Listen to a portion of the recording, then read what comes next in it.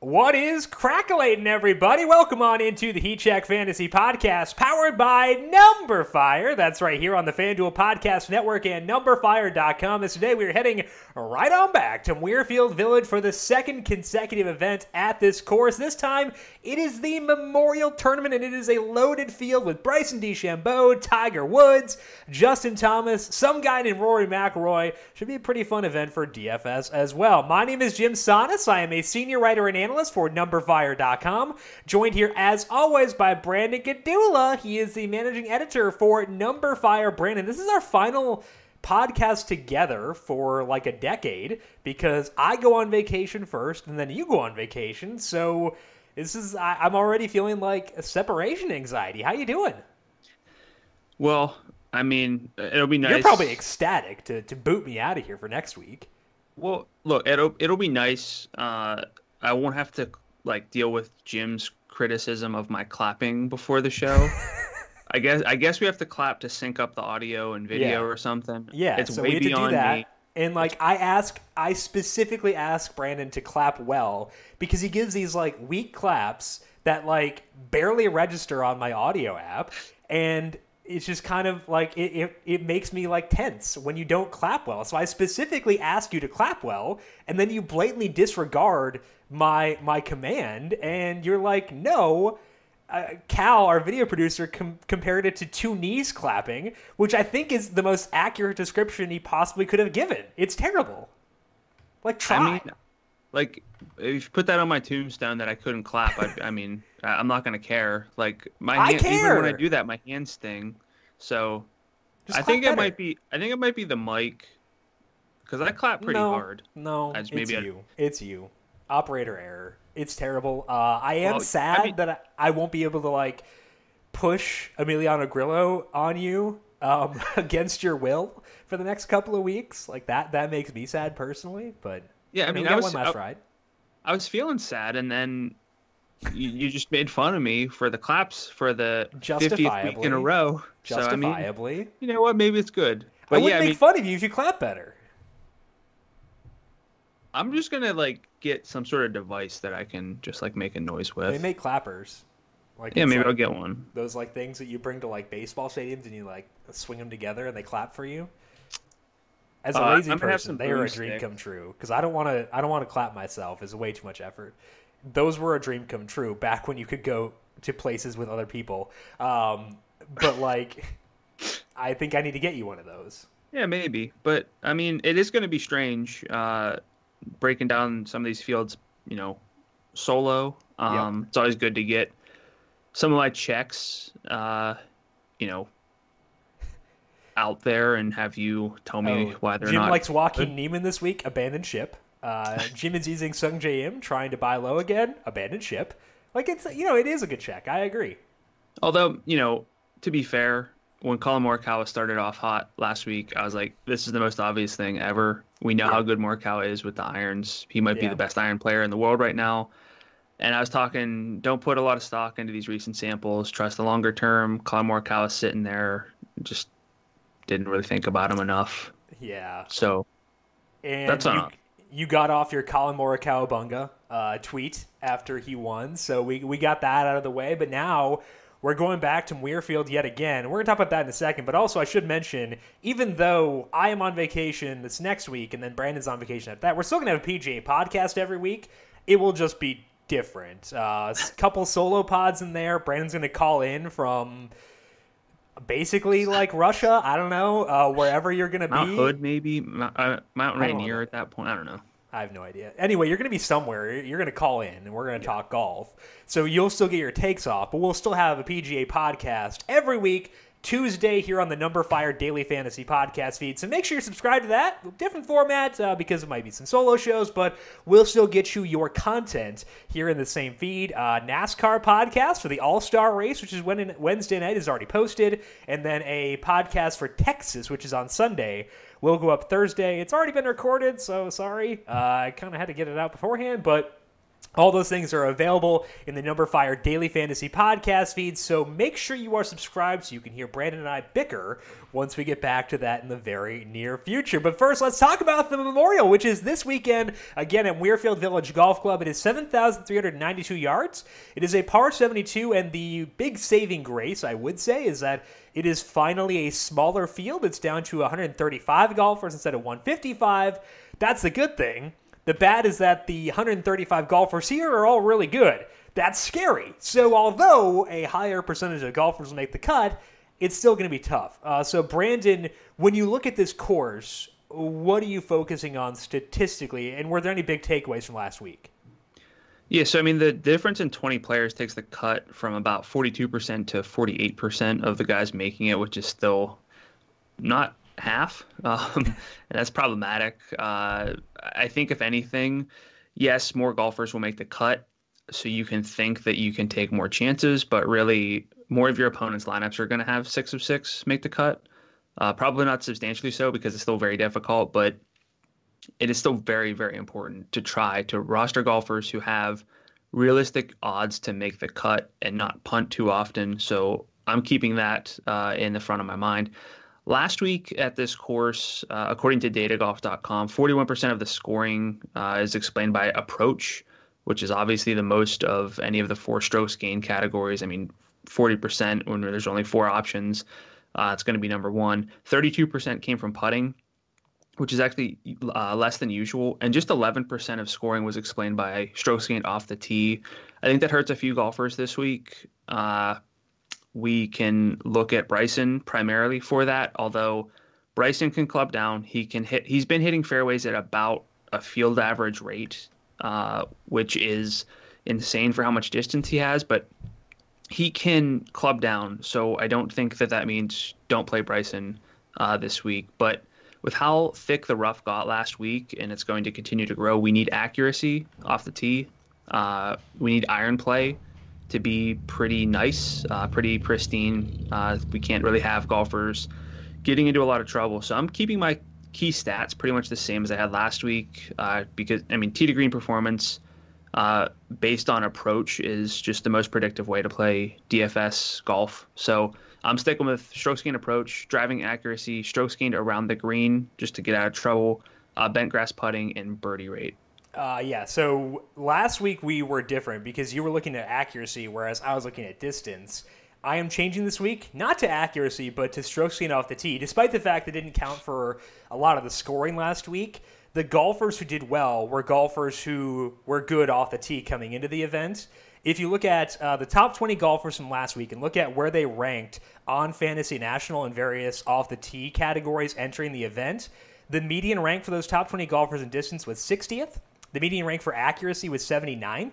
Median rank for good drive rate was 58th, and the median rank for strokes gained off the tee was 40th. So, strokes gained off the tee was easily the best uh, off the tee stat, which makes sense because it's just trying to gauge those things. Uh, so I did go strokes gained off the tee and then approach approach was actually a higher median uh, than off the tee. I'm not saying that's more important, obviously, because uh, approach is always going to be more important, but it kind of shows that golfers who ranked well in strokes gained off the tee entering the event did really well during the event. So I'm going to go with strokes gained off the tee, strokes gained approach, uh, scrambling once again, given the weird nature of the uh, the roughs, and then bent grass putting. So again, slightly different uh, stat categories here, but like we still wound up on kind of the same guys last week, so I'm not sure how much of a difference it'll wind up making at the end of the day. Yeah, I mean, I, I, going through the player picks, um, your two high price studs were probably two of my first options. Um, so I think that we're not completely different. And regarding strokes gained off the tee not being like overly important last week, it, it's usually around I think 15 to 16 percent of scoring because there's a lot more that goes into uh, converting uh, your final score on a hole than what you did off the tee. That being said, this week in this field at a course this difficult, you need to gain strokes off the tee. Yeah. Nobody's gonna win this by being like decent yeah. or like bad off the tee. So whatever it is, I think you need basically your golfers to excel or not be terrible in all four categories. And that takes out a lot of the value plays because they all do at least one thing poorly. and that's why they're priced there. And that's why they're not always in contention. So, except I for Brian that, Harman. Is he always in contention? Always in but, contention, man. Never missed a but, cut. Yeah. So the, I think that balance is is the number one uh, way to approach this week. We talk about this for majors a lot too, but there is also more credence to going balanced when when you are using golfers in the ten thousand range who are still like world class golfers, and that's the case this weekend because we've got Tiger Woods at ten six. Maybe you're not into him, but you still have Brooks Koepka at 10-7, Xander Schauffele at 10-8, Hideki is 10-9. So even like even when you are saving salary and going more balanced, you're still getting disgustingly good golfers. So I am on board with you where I want to go a bit more balanced. I love the upper 9,000 range this week. I think it is absurd how good that range is. So I'm on the same page as you. Normally I push back on the balanced approach. I will not do that this week. Uh, before I take a look at the the history here at Muirfield, Brandon, I want to talk to you philosophically about how much stock you're putting into what we saw last week. Because it's the first time we've seen a double up event and i think like 60 years or something. Are you going to move guys up a decent amount based on what they did last week? Or is this more so a spot where you may look to fade the golfers who blew up and try to buy low on some golfers who maybe didn't show that well um, I think ultimately I'm not putting much stock into it because it's a two to four round sample for these guys, and I've learned, especially with this restart, not to care too much. Um, I know that this is a special circumstance, but this is a very different field, and these, like you said at the top of the show, these are like all of the best golfers in the world. I don't think that there's any significant advantage from having played this uh, last week and I don't think there's any significant disadvantage by not having played it. So realistically,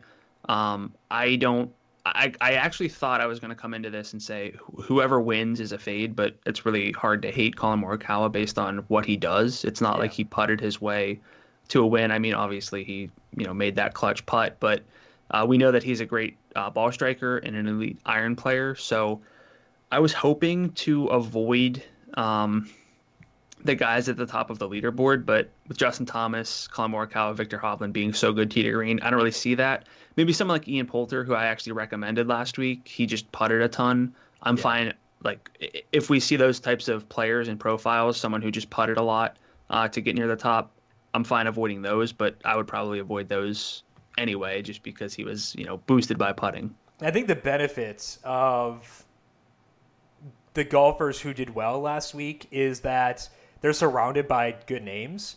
Like in general, sure, we would expect the public to gravitate towards Collin Morikawa off a win, but will they gravitate to him over Jon Rahm, who is 11-4? I don't know.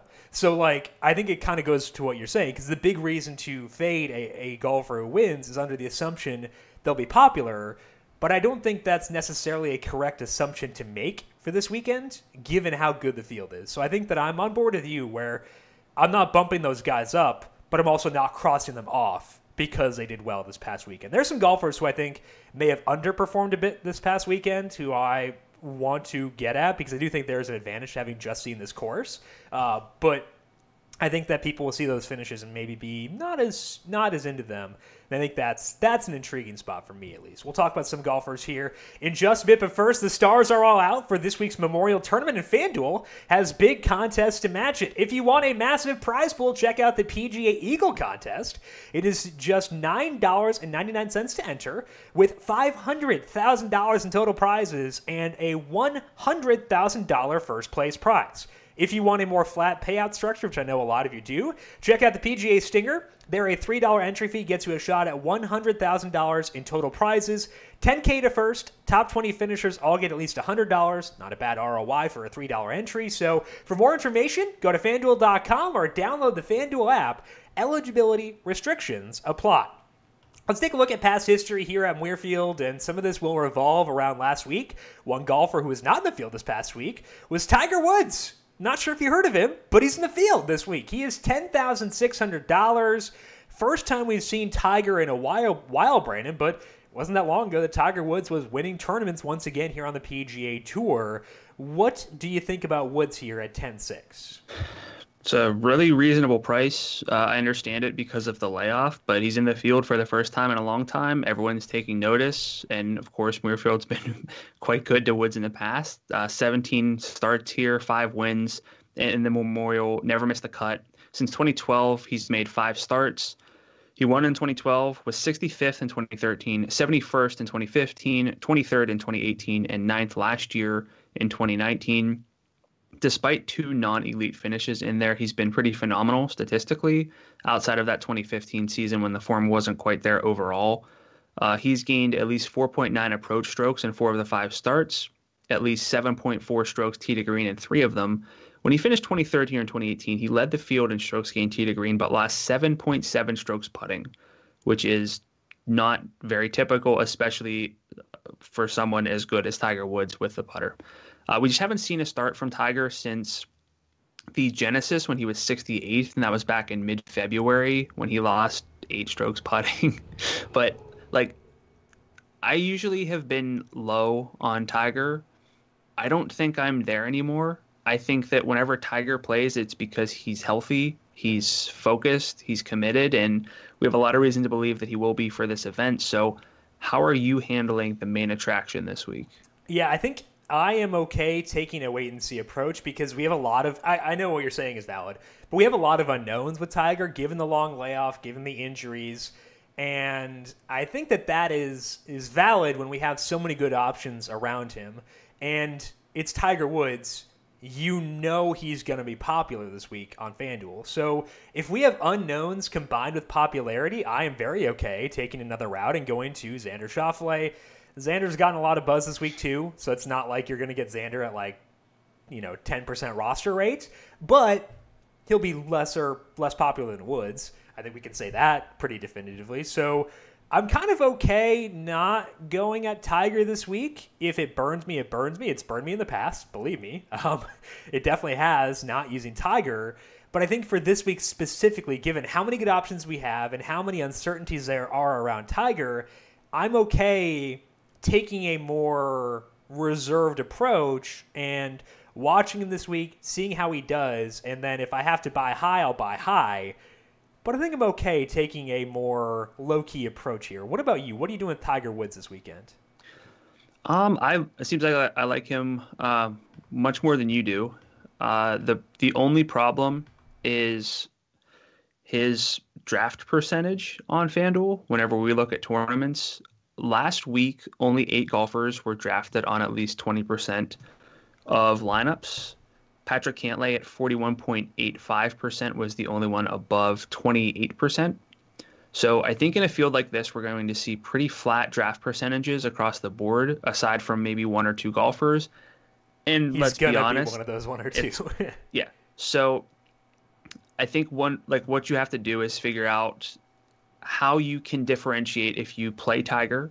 And I think this week, probably more than a lot of weeks, because it's like a major, you can differentiate very easily because we, right. we will understand closer to lineup lock which of these studs is expected to just sort of fly under the radar. Even if it's, look, we don't play a lot of Brooks Koepka in DFS because you just never know what to expect. I know Brooks Koepka has called, he's said he wants to be the casino or whatever, run the table, whatever it is. Um, that response to Bryson, he he can win, and if people aren't playing Brooks, in a combination of Tiger and Brooks is automatically pretty much like a contrarian way to play it. I'm not saying Brooks will be under the radar, but we will find by Thursday morning which golfers aren't getting enough buzz. Tiger Brooks can be unique but Brooks Xander can be more unique if Xander is less popular than Tiger. So I think that's why I'm Justin, having hesitancy here. Justin Rose, Jason Day could be more unique than Tiger. No, but like if we're talking about like I prefer Xander over Tiger straight up. Do you? Yeah. Xander um, will also yeah. be less popular than Tiger. Yeah. So why would I not just go Brooks Xander rather than Brooks Tiger? But you don't like Tiger as much as I do.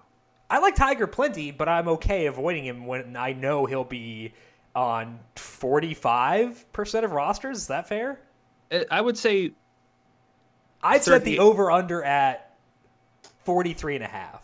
I'd go a little bit under. Okay, you have the under. I'm taking the over. We're doing this is Just our be- first bet of the podcast. Okay. I've got the over on and 43 and a half on Tiger Woods roster rate. Let's say in uh, the Eagle contest, the big the big nine dollar ninety nine cent one. Okay. I'll pull a link for you. But yeah, I think uh, I think I'm gonna go over there. I think he, he gets to 45 percent.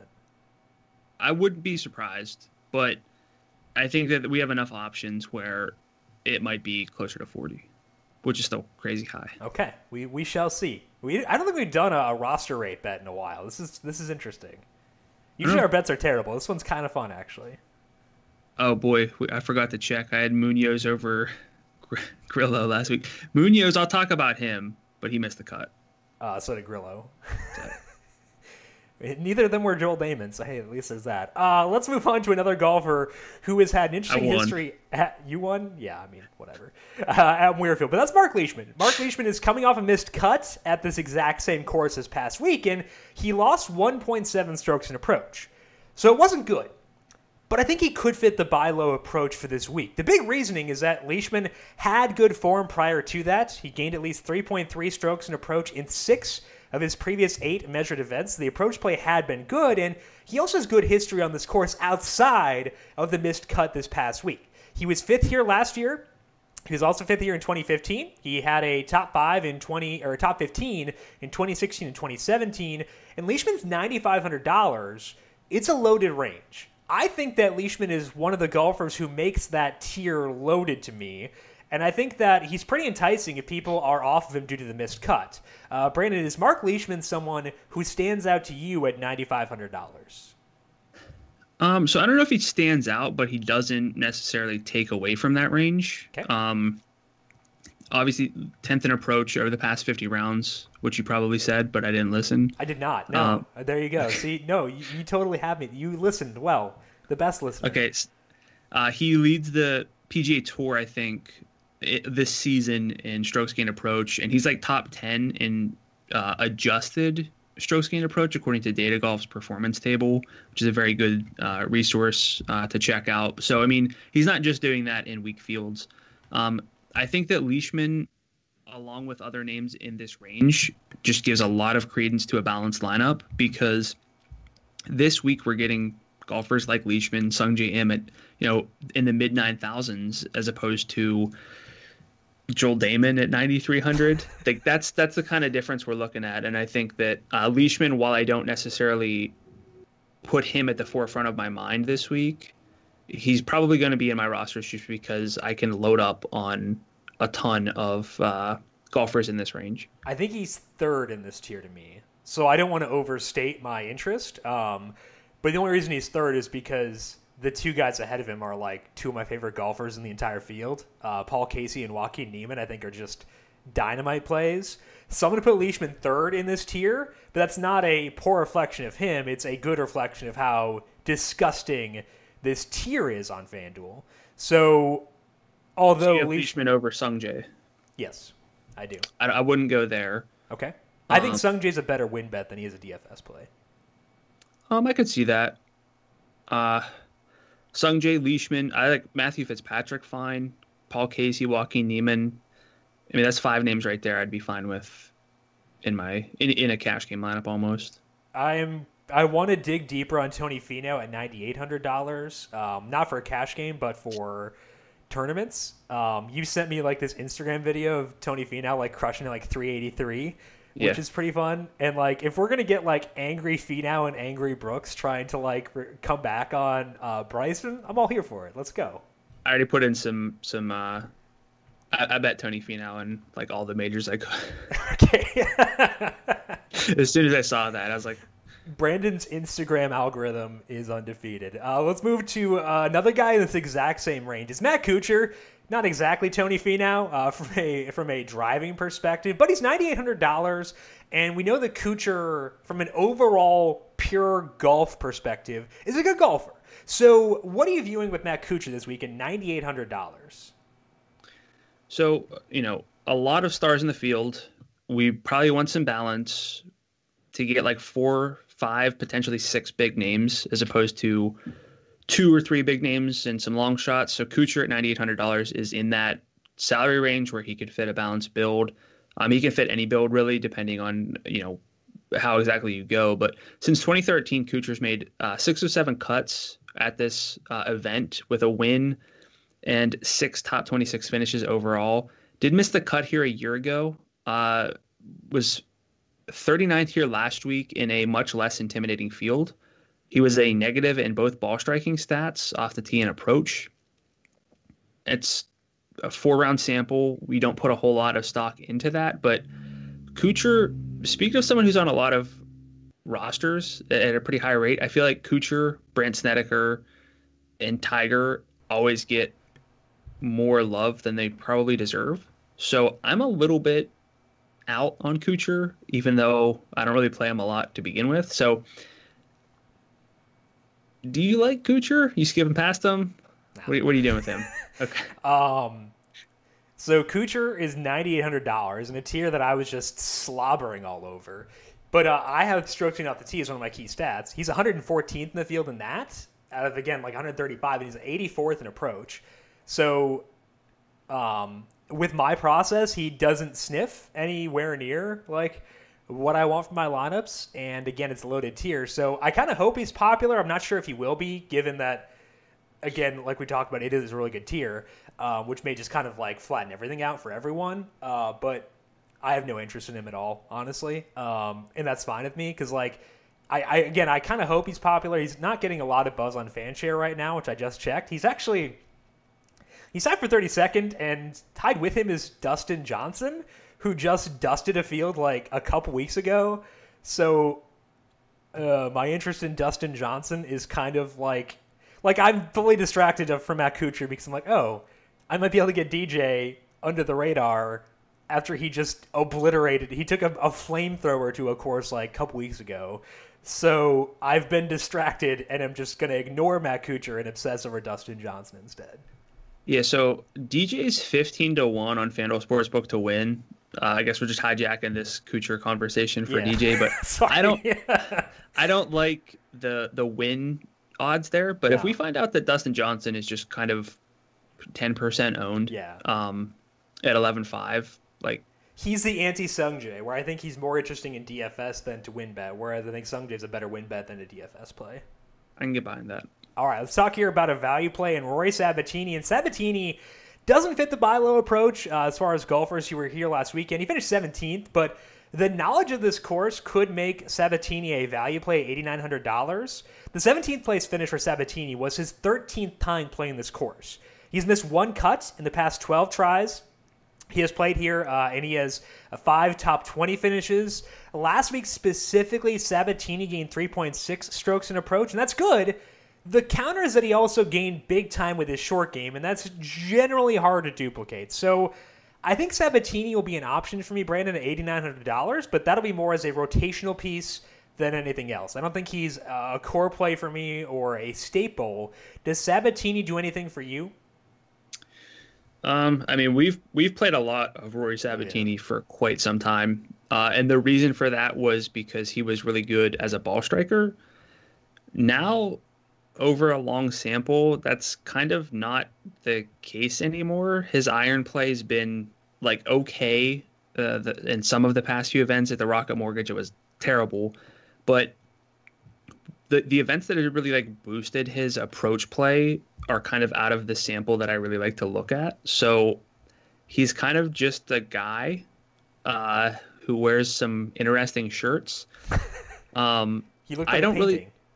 I don't really have and again, this is someone that, that we've played like yeah. week in, week out. I just, I don't really see it anymore. Um, I'm fine bowing out, and I might cap my head-to-head lineups. Like I might I self-impose a salary floor at nine thousand, unless I punt with one one pick, which gives me access to pretty much anything else I want to do. Is it Munoz again? Yeah. Predictable. He was ninth per round in strokes gained tee to green last week. He just how missed many rounds did he play, Brandon? Two. He.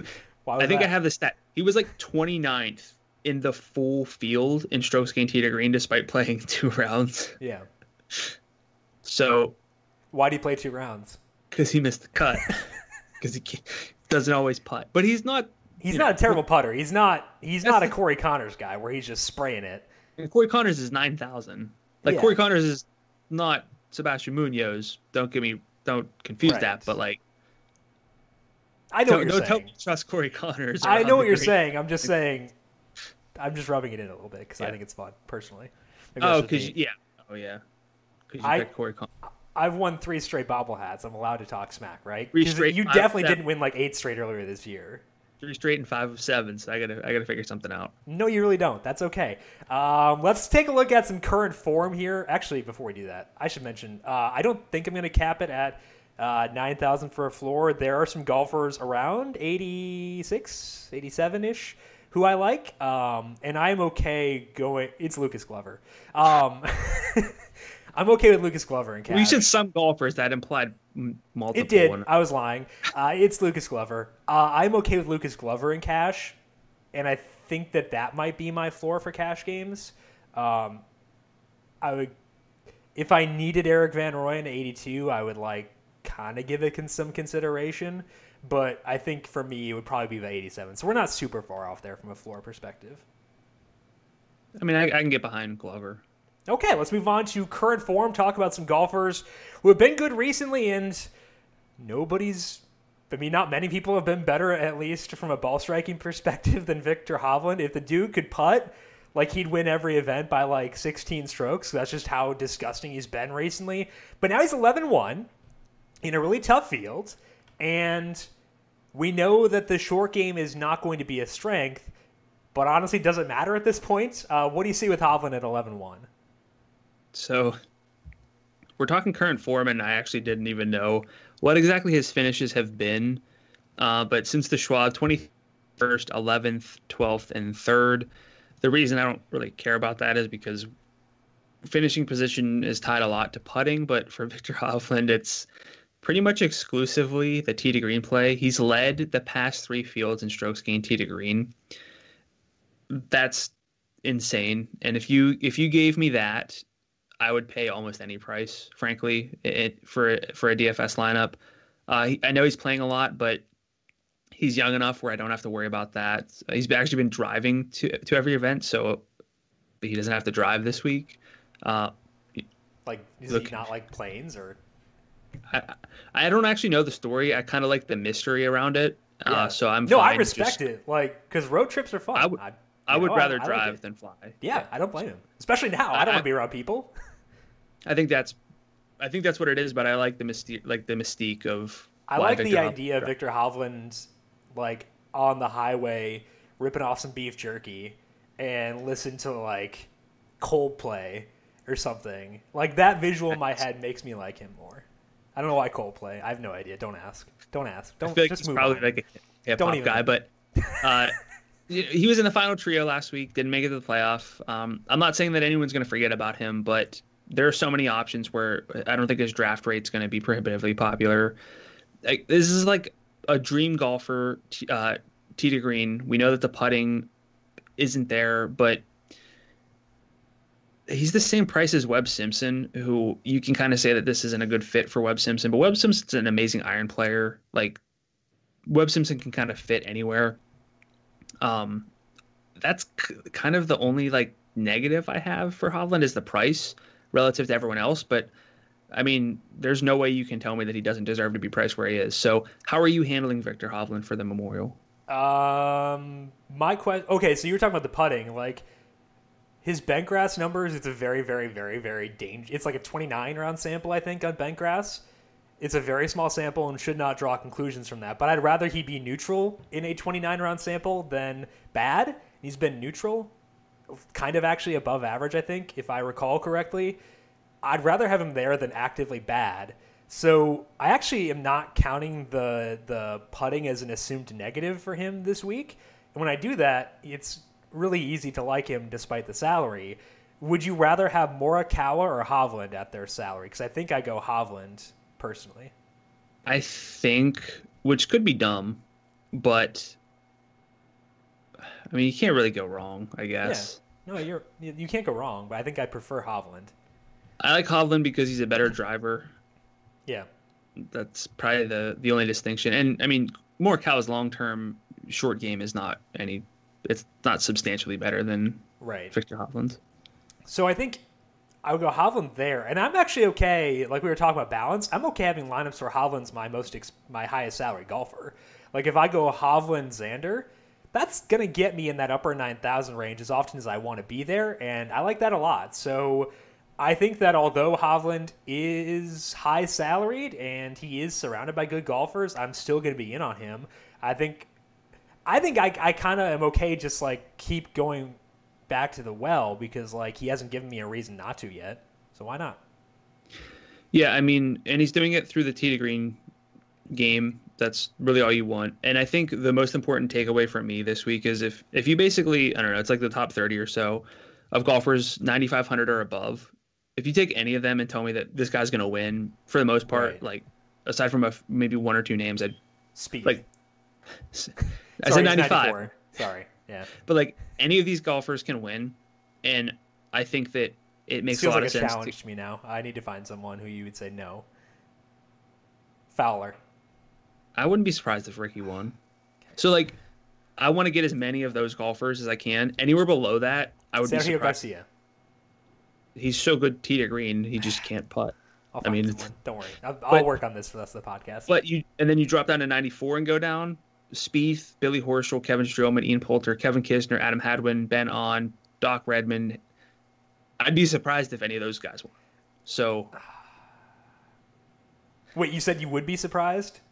Yeah, Oh, okay. I But, thought like let's let's be real. I think the true takeaway here is we listed Doc Redman in the same stratosphere as Jordan Spieth. I am into it. I will not push back on it at all. I love it. all That's in, where we are. baby.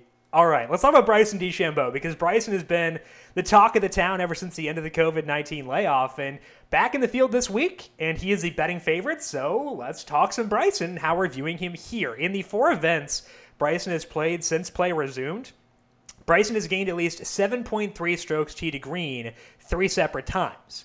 The other event, he gained just 4.2 tee to green, so still very good, and he's converted on that too. He has had finishes of third, eighth, sixth, and first. But there have also been some pop putting weeks in there, including gaining 12.8 total strokes putting in the past two events. And bentgrass is the worst surface for Bryson, so I was big on Bryson two weeks ago, and that definitely paid off. But I may gravitate towards some of the other studs this week, potentially leaving myself underweight on Bryson DeChambeau this week, as scary as that could be. So, Brandon, how are you handling Bryson DeChambeau as the highest salary golfer in the field? I won't talk anyone out of him. I think that the the off the tee play being what it is, and again, it's not like he can only just launch it. He's hitting fairways, and he also knows when to club down and, and hit fairways when he when he needs to. He knows how to miss in the right spots, and that's a huge advantage. That raises his floor. I mean, that being said, I, I know that the, the the shot tracker, shot link stuff is like skewed, but his iron play isn't as consistent as you kind of want it to be. It's been very good. I, I'm not trying to say that it's not, but he's okay around the greens, nothing amazing, and he's been putting really well. I don't think you have to play him, and I'm okay just not really using him because at his price, you really have to start digging down into like that Jordan Spieth, Doc Redman range. Yeah. And I don't know if the difference between Bryson and even Jon Rahm is big enough to go from. I mean, I should have had this example pulled up, but like you can get like Jon Rahm and Abe Ancer or like Bryson and Spieth or something like that. And I know which one of those two I prefer. Same, because I, I want to be in that upper 9,000 range as often as possible, which means I'm going to take every discount I can get. And even then, the discount from Bryson to Rory McIlroy at $200 is significant to me, at least. Uh, like, I'll take those $200 savings and go with Rory McIlroy. So, I mean, Rory's probably gonna win this week anyway. I mean, yeah, of course, he has to. Um, but I think when I have so many good alternatives who are cheaper, uh, but also have the same upside as Bryson, I am okay taking those savings. It's five hundred dollars down to Dustin Johnson, who I'm apparently now super into. Um, so I think that I'm just going to take those savings I think that Bryson's similar to Tiger, where if he burns me, he burns me. That's fine. I, I know that there is a decent chance that happens because Bryson's been crazy good. Tiger's won a couple tournaments, uh, so that could happen, and that's okay. Uh, it's going to happen in golf pretty often, so I, I I'm I'm okay taking on that risk and ignoring them because I want the more the the lower salary on the other guys, and I think that uh, if it means I ignore Bryson in a week where he goes off, so be it. Let's move on to your second current form golfer. That's Daniel Berger, and Berger, if you were listening to this uh, seven months ago and you had said he was 10-2 in a field that has this many good golfers, you probably would have like laughed at someone. But with the way the Berger has played recently, justifiable. Uh, so what do you see with Daniel Berger at 10-2 uh, entering this weekend? So he's got six straight top 10 finishes. he has a win uh, since the hiatus at the Charles Schwab. Uh, just two starts since the, the return, but uh, he won and was third. Uh, overall, he's got some of the best, you know, quote unquote, recent form in the field. If you look back at the past 24 rounds, which does span back into like February, but he's eighth in strokes gained tee to green. He's been a good ball striker, plus a good putter. Uh, I think that putting sometimes is is something that we can gloss over and imagine that it it is completely unpredictable, but it's not. Uh, the data shows otherwise. It's not quite as important or as predictive as well. It's important in in a specific event, obviously, but it's right. not it's not as predictive as the ball striking stats, which is why you should prioritize TD green play over putting. But he's got that. Like he can do kind of everything. Uh, his form at the Memorial hasn't been good, but I don't really care about that because he's a different golfer right now than he used to be. I think the recent form is just too hard to hate at 10-2 for Daniel Berger. So, uh, what are you thinking for Daniel Berger this week? Yeah, and he hasn't played the Memorial in like a long time. So I can't even. I don't even care. I not. It's not even on my sheet what he's done here previously. Yeah. Um, and I know you weren't saying that. Um, but I think that Berger is interesting because I think that if you look at like I love the upper ten thousand range, but like if for some reason I need like a, if I have 10-5 on the table, Berger would be a standout over Rickie Fowler. I like Gary Woodland, but like I would put Berger over Woodland pretty easily. Patrick Reed is always kind of interesting, but I put Berger over him too. So in that tier, I think that Berger is the number one golfer. I think the issue that I have is that I'm using a balanced approach in order to get to the upper 9,000 range more often eh, rather than getting up to 10-2. So I if I get there, I get there, and I would definitely go to Berger then. But I'm also not sure if I'm going to get there because I like the upper 9,000 range so much. Um, like I'd rather go with Casey and Niemann than Berger and someone in the low 9,000s. Um, and that could be a mistake because I, I, again I do like Berger quite a bit. Uh, but I think just from a roster construction perspective, I'm, I'm going to gloss over him. But it's nothing against him or his game recently. So more so a roster construction question than Berger himself for me. Yeah, I mean he fits easily uh, if you do the. I mean, if you if you punt with one option and punt not sure. in just pick any random golfer, but you pick one of the probably like five or six justifiable plays. Like let's be real, in, in a field this good, there aren't many. Um, so if you do that, he fits in really well. I, th- I still think that if you're okay missing out on any of the top few golfers, you can still put him in in a lineup. And I think it makes a lot of sense. He might be underpriced for how good he's been, how consistent he's been. And I think that we can really kind of trust that this is a change. It's not just a recent hot stretch for him. Yeah. So I like Daniel Berger a lot at 10 2, uh, so long as I'm not struggling with the rest of my lineup to get him in. I think that's a good way to phrase it. Um, so he's not a priority for you. Is that the what you're saying? He he might be because okay. I'm fine if he's like my second or because I mean if he, if he's my second highest like most expensive golfer, I'm gonna have just about anything else I want to do. Right. So I mean he's probably realistically gonna be third, but like yeah, I'm fine with that because okay. I think that he's underpriced. Okay. Uh, if I can get back up there, I will. Uh, but I'm not going to prioritize him over some of the the lesser expensive guys. I think that's the way that I'd phrase that. So we were talking about uh, the low 9,000 range not being all that intriguing. we could have a potential exception there in Doc Redman because he's back this week, uh, but this time he's not 10K. Instead, he is down the value range at $9,100, which means I think he's worth discussing again. In the four events Redman has played since the end of the layoff, he has gained at least 4.7 strokes in approach three separate times. He was at 2.4 in the other, and the off the tee play hasn't been as consistent as the approach play, but he did gain 4.4 off the tee in one event and gained 2.2 in another and that gives him a path to upside eh, when you add in how good the approach play has been. Redman's sample on bentgrass is small and it's not great, but it's also not hideous. And he's in the same range as other heat check ball striking phase like Corey Conners, Scotty Scheffler. So I'm in on Redman this week, Brandon. It sounds like you may not be. Uh, what's your view on him at $9,100? So he's played 11. He has, he has 11 starts in 2020. And how many of those do you think he's gained strokes around the green? I have no idea. Two. Yeah. He's gained in putting one, two, three, four, five, and he's uh-huh. actually gained at least three strokes putting in three of the past six.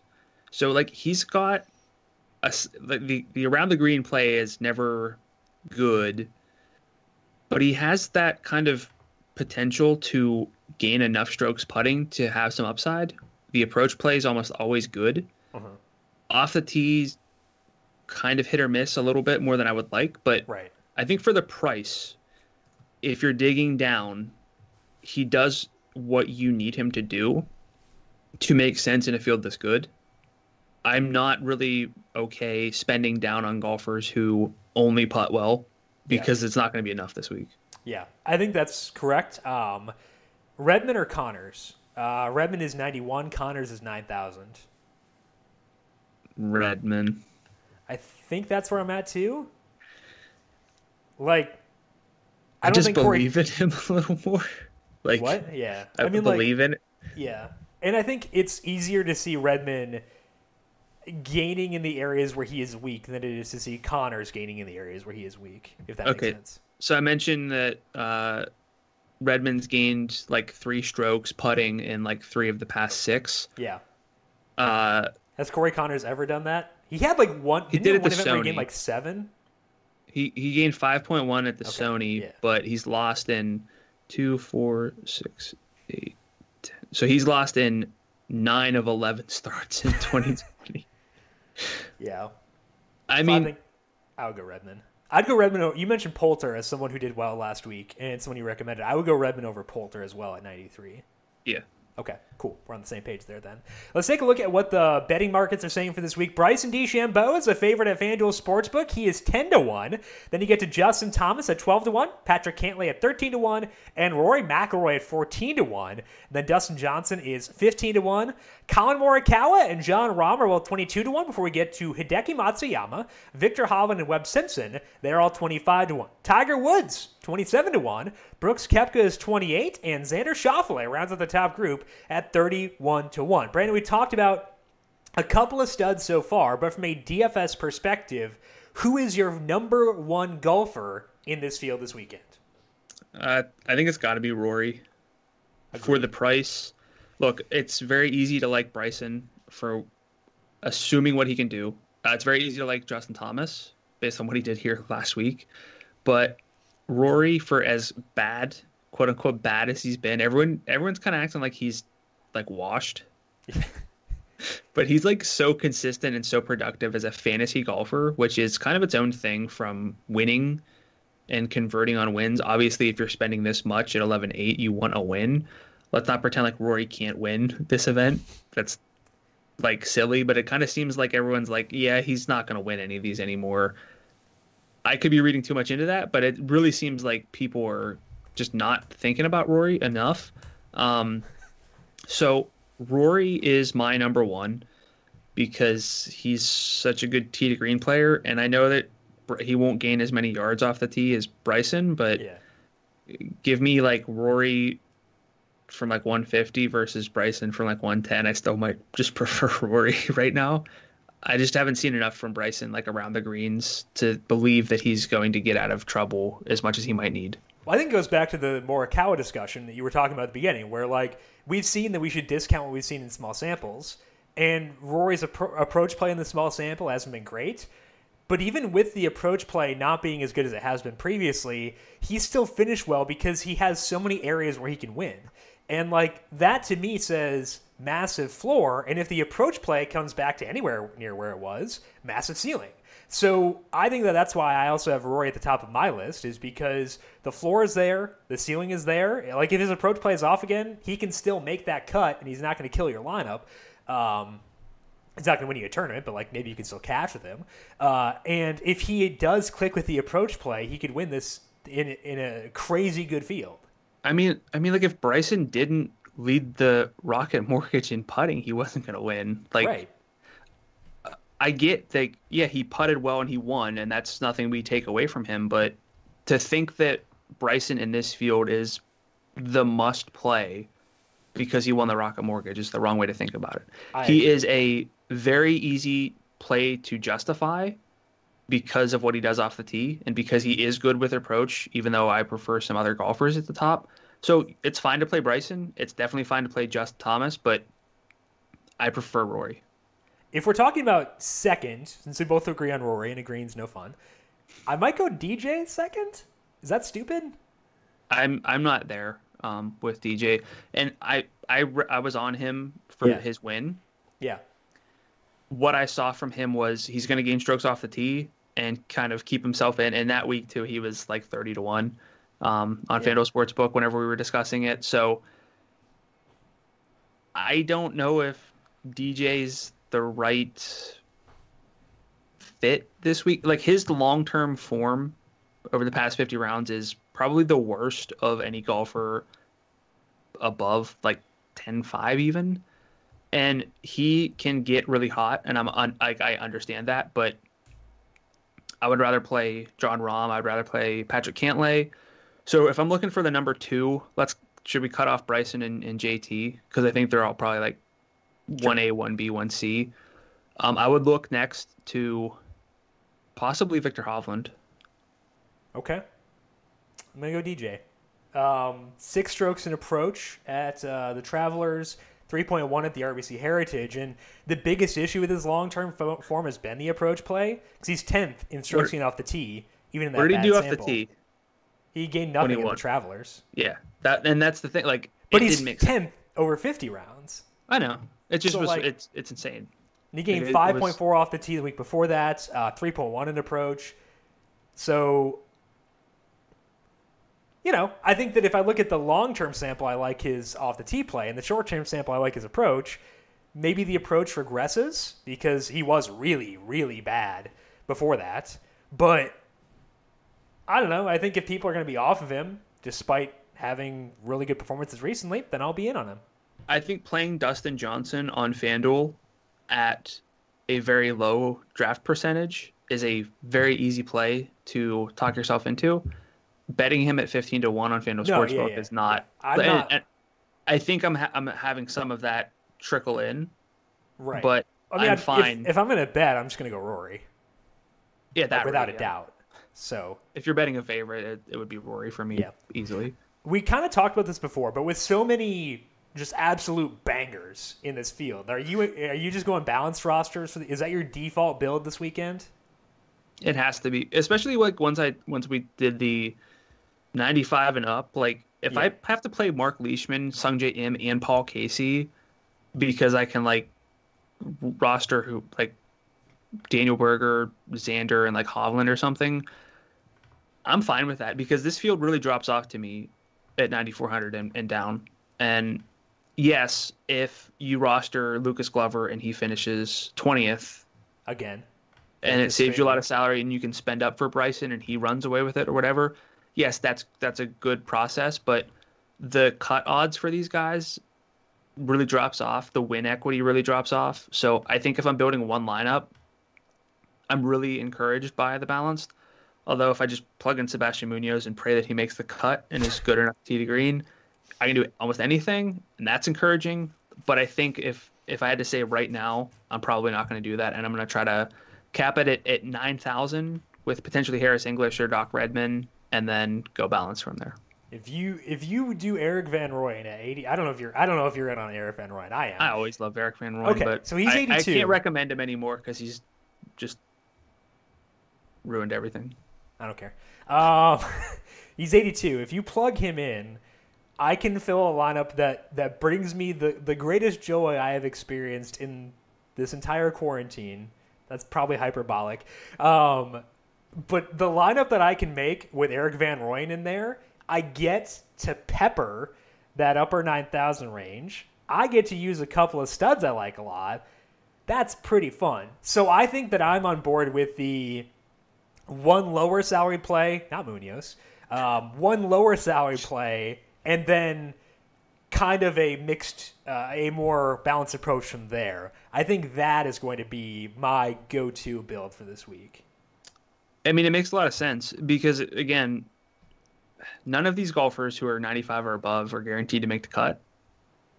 And you can kind of say that any week and be like, well, why don't you just play all the seven thousand dollar guys because they'll be low owned? Like, you can nit, like nitpick that conversation, but right.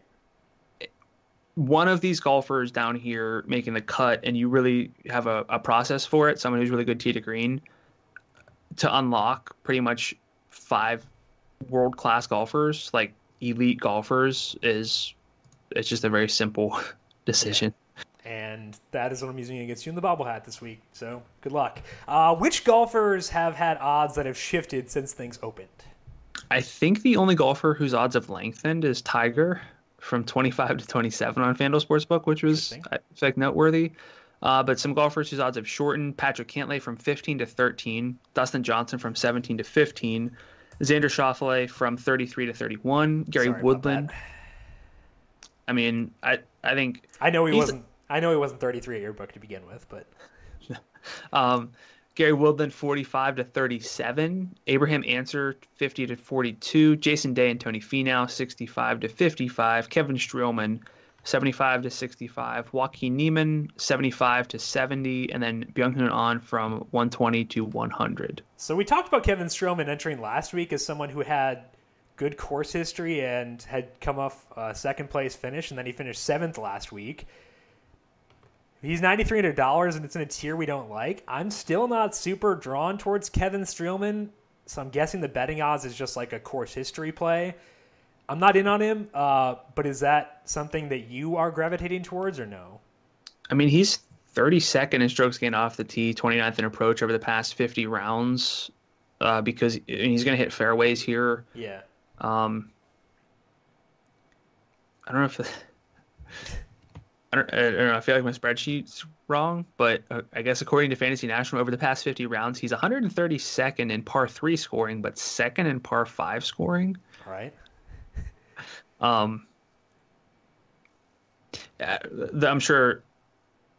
Well, it's probably because par threes are more centered around short game, and his Like short putting? game is not good.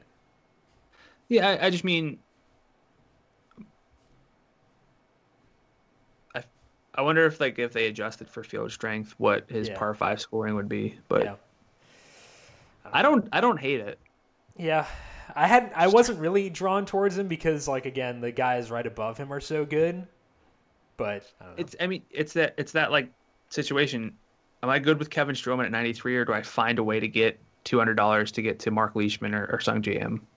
or three hundred to Paul Casey. Right. Uh, which lower salary golfers have odds that stand out to you?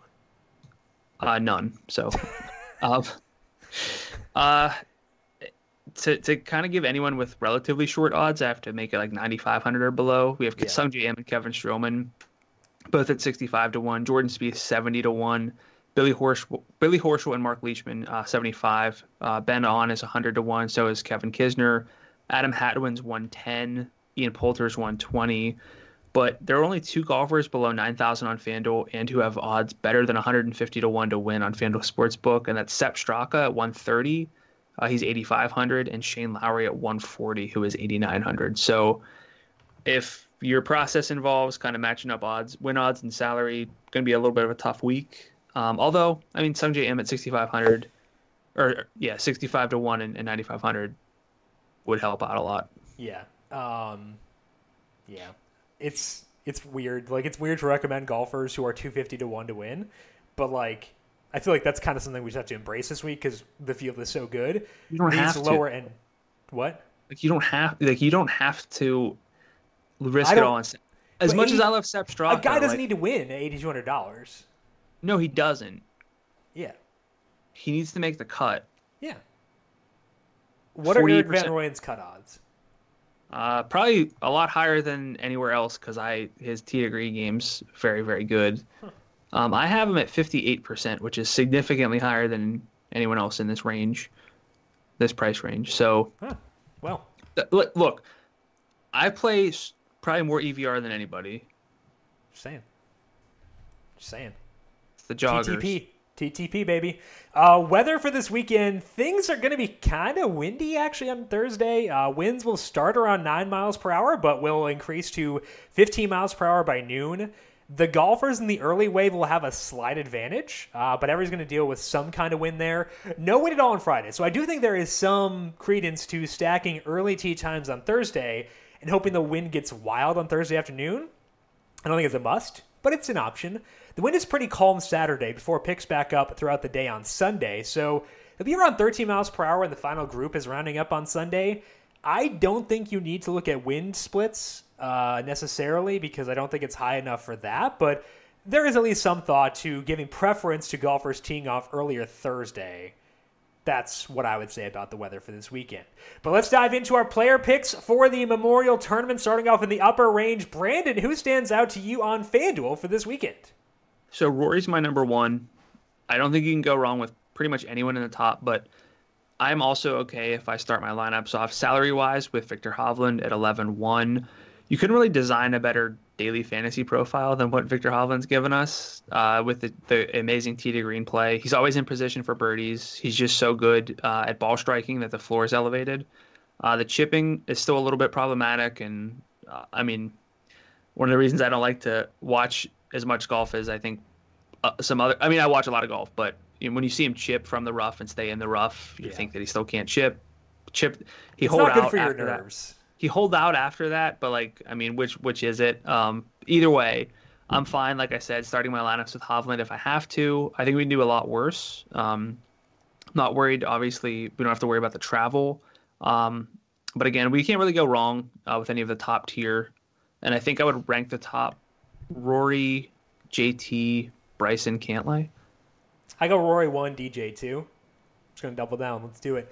Um, maybe the no travel's a negative for Hovland. Like maybe he like gets some juice out of these like road trips. I don't know. He's- Well, if he doesn't do well, if he so- doesn't do well, it's going to be because he didn't drive the car. Exactly. There are no other conclusions to be formed. So just, you know, make sure you check back on this. Uh, my favorite high salary guy is Rory McIlroy because the form since the end of the layoff has been okay, but I think with all the shiny objects at the top end of the salary pool, we could get a situation where Rory might not, not, be as popular as usual, and that's a good thing. The main blemish for Rory has been his approach play since the end of the layoff, and he's actually down a tenth of a stroke there in three events, but he's making up for it uh, because he's making up ground off the tee. He has been lights out around the green, which is kind of what Rory does, and that could make his finishes unsustainable given that around the tee play is not as uh, sticky. But the flip side is that if he gets his approach play back on track, he could go back to dominating. So even with the recent struggles, Rory is 21st in the field in approach the past 50 rounds. He is third off the tee. He is 17th in scrambling. So I am going to actively try to be overweight on Rory McIlroy at $11,800. I don't think he is a must play for cash games because I don't think anybody is really a must play for cash games in such a good event. But I think he's someone I'm probably going to use in cash games. Uh, what's your evaluation on Rory? Um, I think based on what he can do, tee to green, and even though he's not the best putter, he's not an abysmal putter. Um, I think that gives him the highest floor over the long term. Nobody scores more uh, Fanduel points compared to the field that he plays in than Rory. Morikawa is actually second. Um, I, I don't think that Rory will command quite the attention that he deserves with Bryson and, and JT there. So for me, it's Rory uh, number one this week. I feel good. You can never really feel bad about plugging in Rory McIlroy. All right, who else do you like in this upper range? Um, just about everyone. So I'm okay saying Daniel Berger at 10-2 and really honing in on him because I think he's underpriced. And if you're okay playing guys like Daniel Berger, you can spend up for a third, fourth stud depending on what you do with the the rest of your lineup. Uh, someone like Xander. I didn't really mention Jon Rahm, but I think he's a great win bet, a bounce back. Um, played pretty well on the weekend um, last week. I think everyone's just over Jon Rahm, and that's the kind of spot that we should probably dive back in on. But Daniel Berger, not, not someone I've really played a lot. Uh, that's been bad because he's been so good with those six straight top tens. But he's really good. Like I said, I, I talked about it already. But the tee to green game has been really good, and the putter has been helping him reach high end, but also it's a good thing to be a good putter. And I right. think that sometimes we look at good putting and say, well, he's bound to regress he can still regress to his baseline, which is probably just a plus putter. Yeah. So that's the difference. So uh, under 10 and under 10 5, I think Berger just opens up so much and it just really gives a lot of credence to a balanced lineup. Like regression is not to zero strokes gained putting. Regression is back to their like their true talent level. And, and it's also not yeah, it's not ne- it's not regression to negative. Right. Exactly.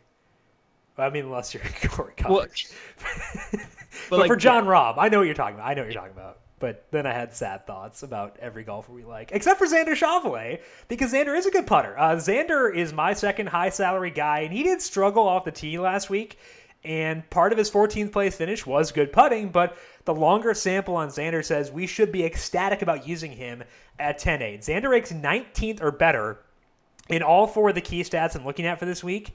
Justin Thomas is the only other guy who ranks in the top 20 in even three of those stats, and Xander does it in all four. And last year at the Memorial, at this exact same course, uh, Xander gained 4.7 strokes off the tee and 1.5 around the green. So although he didn't do well in those categories this past week, he can beast out in those categories at this exact same course. So I think Xander is like 500 ish dollars underpriced uh, for this event at 10 8. So he might be the guy I turn to most often of any golfer in this entire field. I know that might be a bit hyperbolic or might be overboard given that I do like some guys who are cheaper. Maybe I should make them my core plays and rotate in these studs, but I just think he's underpriced. Uh, what is your evaluation of your boy, Xander Schauffele? Yeah, I mean, at 31 to 1, there might not be a better win pick on FanDuel Sportsbook than, than Xander. Um, according to Data Golf, uh, in this field, he's I think 14th in adjusted strokes gain approach in 2020 and 9th off the tee, which like think about that this field adjusting right. for the, the the you know the fields that these guys play and that's insane. He is very underrated. And yes, he's not always in contention, which is scary because I track Xander more than any other golfer. So like I'm always aware of like where he is, but uh, I think he's a great DFS play. I think he's a great win bet. Uh, and I really have no issues uh, with Xander. Um, I'm going to go back to him. Alrighty, let's move down to the mid range then. Who stands out to you there? Abraham Ancer at 99. Uh, I think that uh, he kind of fits that, like, we've forgotten about Abe Ancer. They have it on Fanshare. I'll tell you that. Oh, okay. oh no. Sorry. um, well, that's surprising. I mean, it's warranted. Um, He's tied for first with Tiger. Oh wow. Okay. I, th- I think for... it's justified. Just saying that, but I'm just letting you know in, in general, Abe yeah. Ancer's not been right. at the forefront of everyone's mind, but it's a really good price for someone who's top 17 off the tee and in approach over the past 50 rounds. He was like that can't fade a few weeks ago, and that's always silly for someone who's, for as good as Abe Ancer is, he's not Bryson. Like he's yeah. not like it's different. Um, but Ancer's finished top 14 in three straight starts since the return uh, because of really good iron play. He's really accurate. He's a really good driver, and I think people don't really think about that. He could probably be like 10 3, 10 4 in this field, and that would make sense. Uh, but for, for 99, I think that uh, Abe Ancer is a standout play. I think he's a cash game play for sure. Um, I think he's a good play for tournaments. I have no objections to Abraham Ancer. I think he's awesome. Um, it's another reason why this tier is good. So let's talk about Joaquin Niemann, also in this range. Niemann played decently decently well last week at this course, but not enough to gain attention from the public, which I think is a good thing for if we're talking about DFS because we don't want to be popular. Niemann probably won't get that. Uh, he gained 1.4 strokes off the tee and 4.1 on approach. just lost around the green to push him down to a 31st place finish, which is actually the worst finish Niemann has had at Muirfield. He was sixth in the Memorial in 2018, 27th last year, and then 31st this past weekend. And altogether, Niemann ranks 28th off the tee. He's 15th in approach, and that's in addition to being actually a plus putter on bent grass. So at $9,700, Niemann not my favorite golfer in this tier. Uh, it's Paul Casey, and we'll talk about more more about him in a second. But I think that Niemann is another name to add to this list. It's it's Ancer, it's Niemann, it's Casey, it's Leishman.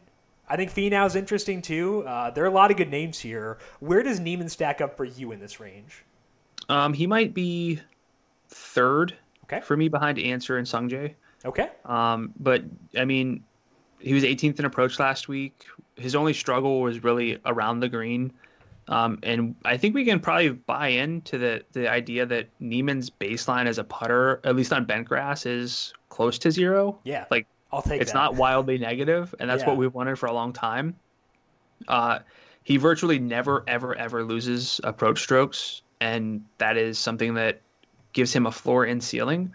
So for 97, he's just another golfer who fits the balance build, seems safe, as safe as can be uh, for someone priced here who's not elite.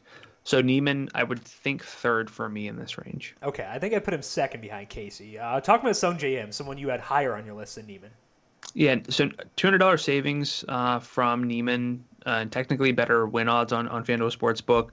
The current form pretty spotty. I get that. That's why his price is low um, on really both sport FanDuel Sportsbook and FanDuel. But Im won the Honda Classic was third at the Arnold, Arnold Palmer, uh, you know, February into March. Since that return, finished 10th at the Charles Schwab, but then everything kind of just went into the dumpster. I missed the cut at the RBC Heritage, 58th at the Travelers, 53rd at the Rocket Mortgage, 63rd last week at the, the Workday Charity Open. Hasn't gained approach strokes in any of the past four, but gained off the tee in three of them. We've actually, I went back and it's not that uncommon for someone as good as Sungjae, like and specifically for Sungjae, he's had some like cold streaks with the irons and it will snap back all of a sudden. It's very hard to predict, but at 95 in this field, I think that that's the right kind of chance to take because you could if we find out that Sungjae is just forgotten about, um, he's 25th in fan share tags. That's going to be enough where he's not drafted on a, enough teams to to care about significantly. So I think the upside's there uh, okay. for me. Yeah, I think, um, like I said, I'm there from a win bet perspective. The reason that I'm a bit colder from a DFS perspective is that, like, if I bet him to win and he stinks, he burns that one ticket. But if I have him in DFS and he stinks, and I have five other guys who hit, that's concerning. Um, so with the the approach play being colder, I am more okay betting him to win than I am for DFS. I think that I'm still going to get him in DFS because like the odds he gets a top 10 are better than a lot of guys in this range. But the odds he misses the cut may, may also be higher. I mean, not in your simulations, but like yeah, yeah. realistically. No, it's so. just it's crazy to think how good Sungjae is and has been, and now we're like we can't really trust the guy. I can't trust him at, at times, but he's not going to be a core play for me. Whereas Joaquin Niemann, Paul Casey will be. If that makes sense. It does, yeah. Okay. Uh, so let's talk about Paul Casey. I've mentioned him several times as being my favorite guy in what is a loaded range. And it's hard to settle on just a couple of guys like, but I think that Casey is at the top of the list for me because he's someone who stands out both with his ball striking and his putting. He ranks eighth in strokes gained off the tee and sixth in approach. And Bentgrass is the best putting surface for Paul Casey. He is 25th there over the past 100 rounds. And Casey doesn't have any recent history on Muirfield, but He's played her six times before, so he knows the course.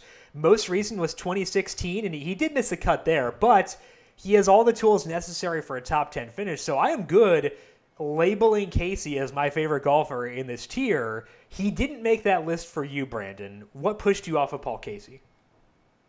Uh, partially that you had him written up. Oh, um, I thought you listed like him as like your favorite guy this tier, though. Yeah.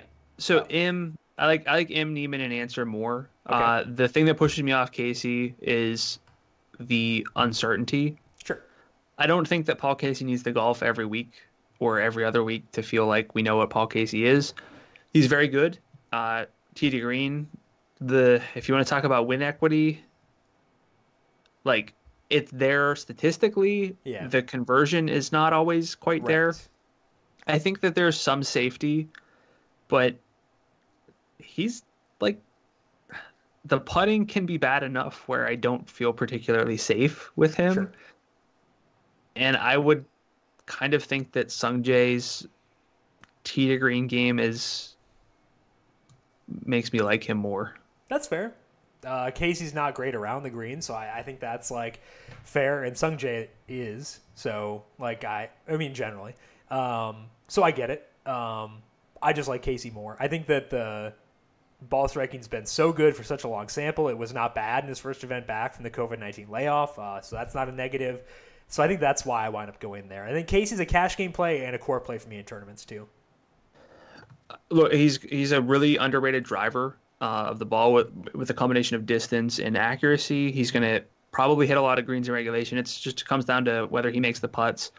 I like Paul Casey a lot, and he's just again another reason why I like such a balanced lineup this week. All right, let's move down. If you do have to force yourself to roster some cheaper golfers, who will you use when you have to do that? Um, I think Doc Redman's interesting, but it's, we usually cap this at like nine thousand. I think there's someone at nine thousand who's interesting. That's Harris English. Uh, he's finished top twenty in five of six uh, starts. The exception being a missed cut at the Charles Schwab. Uh, he ranks only 62nd in long-term approach play, but has gained there uh, three of the past four before he tested positive for COVID. There are holes in his game, which is why I don't really want to recommend too many uh, inexpensive golfers this week because they all have issues. Um, but at 9,000, I think he stands out in this field kind of a lot compared to anyone else really in this range. Yeah, I almost had Harris English my player picks, um, so I'm on board with him. Nine thousand dollars checks a lot of boxes, which is hard to do. Like we talked about how everyone um, in this range has to have a, a glaring hole. Like you said, he has holes, but like he's not hideous anywhere, and I think that's a good thing. Um, at least based on what I have. So I think that Yeah. that English is imp- someone I will use for sure. I mean, if this course plays tough, he's sixth in bogey avoidance. Mm-hmm. He's fourth in this field in greens and regulation gained. Again, not not that those aren't adjusted for Right. the fields that they're playing in, but that's still pretty good. I agree. Uh, my first lower salary golfer is Lucas Glover, and it's kind of just a given that Glover's short game is going to be an issue, but his approach play has been so bonkers recently, ever since play resumed, that it hasn't mattered. He has gained at least five strokes in approach in three of four events since the end of the layoff. He gained three in the other. Even though Glover has lost strokes around the green in all four of those events, and he has lost strokes putting in two, he's still at a top 25 finish each time. That's how good the approach play has been for Lucas Glover. He is 31st in strokes, 35th in strokes gained off the tee. He's going to strike the ball well. If he can just stumble into a couple of good putts, he's got some pretty big juice for 87. So I know it may seem like his ceiling is a top 25 finish, but if he happens to have a good week around the green, I think everything else is so good where he could have more upside than that. So I understand the reservation, but I don't think it's entirely something that should push us off of it. If he ha I mean, it's around the green play isn't just something that you kind of luck into. Right. Um, he almost never gains there, and while we still want the recipe to be approach play number one, and then like off the tee, give yourself a chance to make some putts. We see golfers not like these golfers who are amazing ball strikers have lukewarm approach play for like a round or two, and their putting can't save them, and then they miss the cut. And I think a lot of these golfers who make the cut can separate and kind of climb by putting themselves in, into position a lot.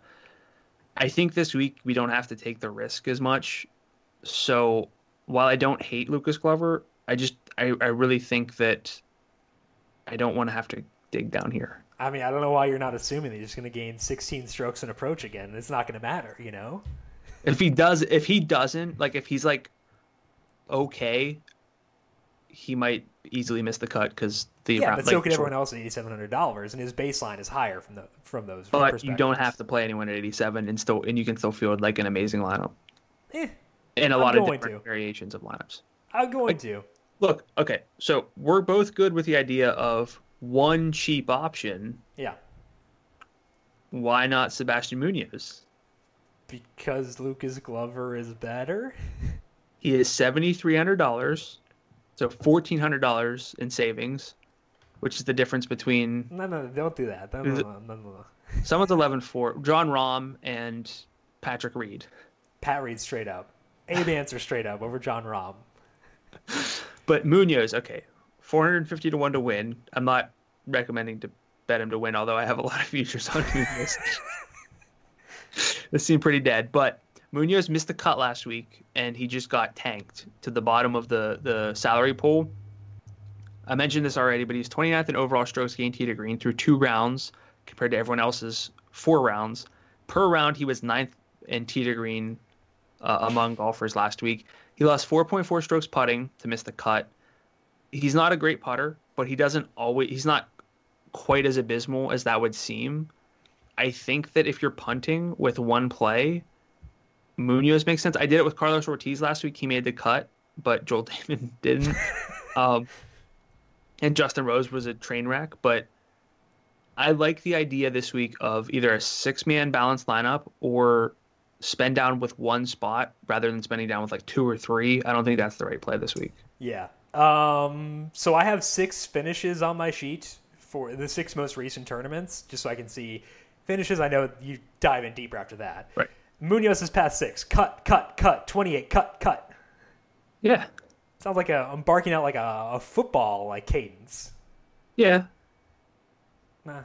I've used Munoz a lot of those times he's been cut. So like I'm generally in, but at some point you gotta make the cut. Yeah, you do. So I'm gonna go Glover instead. I'll pay the fourteen hundred to get to Glover.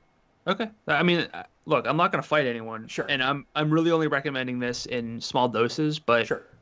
for how good he he, he was tee to green last week, he easily could have made the cut, and he, he would have been. Pro- I think he was like 83 last week, Yeah. something like that. Ortiz is seventy nine. I think that Munoz is eighty three. I believe. Ortiz was 76. Oh, okay, yeah, close enough. Whatever. Either, oh no, either way. it was Seung-Yul Noh who is seventy nine, who I'm pretty sure missed the cut. I didn't use him, but I had him on my like tracking thing because I was curious. Didn't do anything. So uh, my lower salary guy who I want to use as a you know punting option is Erik Van Rooyen. Not as cheap as Munoz, but I like what he does more. Because if I want to live in that mid nine thousand range, I've got to you know, find someone super cheap unless I'm going super balanced. I think that Erik Van Rooyen fits that.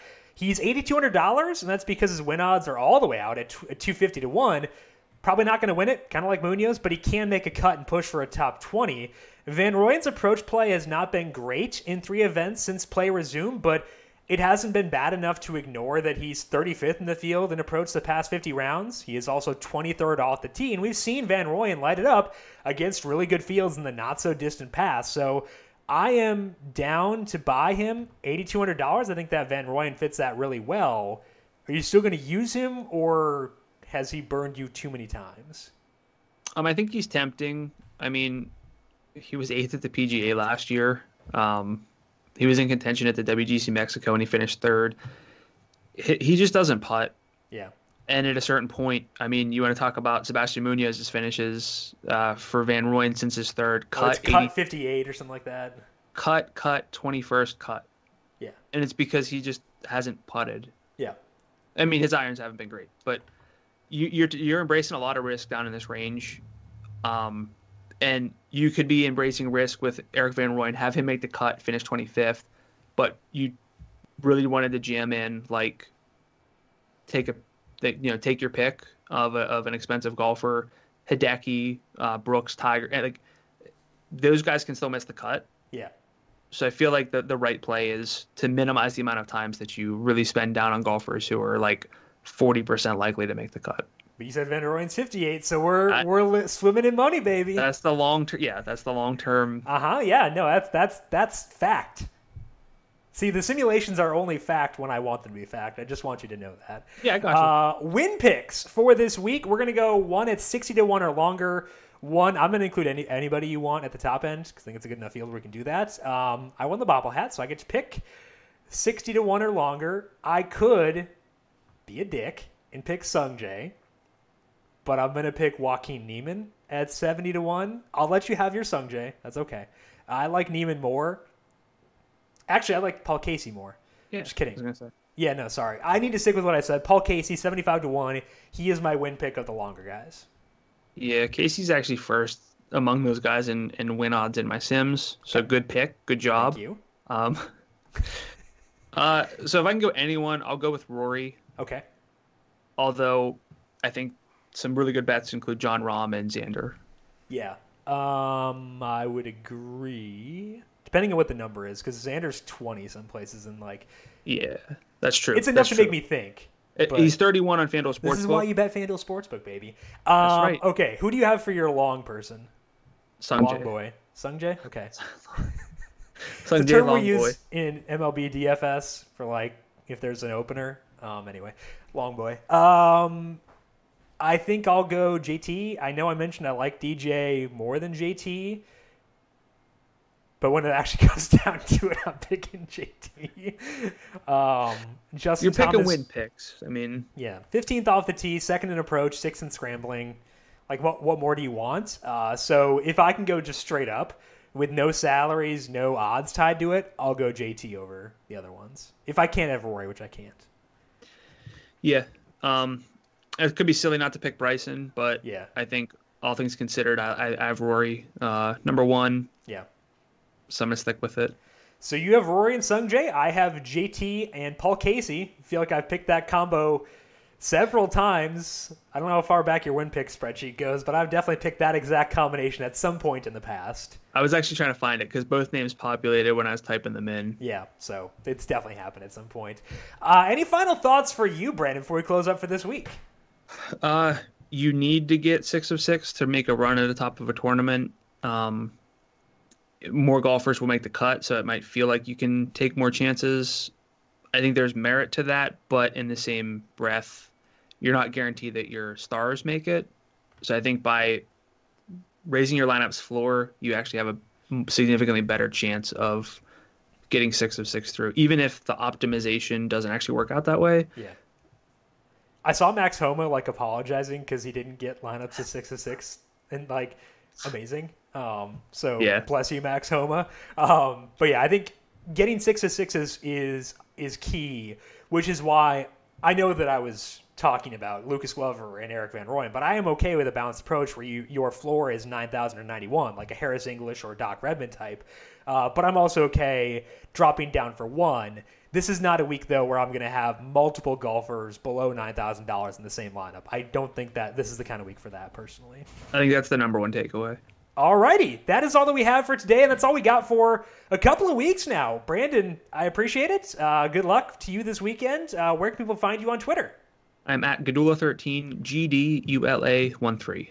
And I am at Jim Sannes, J I M S A N N E S. You can also follow the FanDuel Podcast Network at FanDuel Podcast. Make sure you are subscribed to get uh, the solo podcast with Brandon next week, the solo podcast the week after that, et cetera, et cetera. NASCAR podcasts, maybe some more UFC podcasts, and the solo shot coming back for MLB DFS not too far down the line. Make sure you are subscribed to the numberFire Daily Fantasy Podcast feed wherever you listen to your podcast. Big thank you to Calvin Theobald, our video producer, for running the video side of things here today. Thank you, Cal, as always.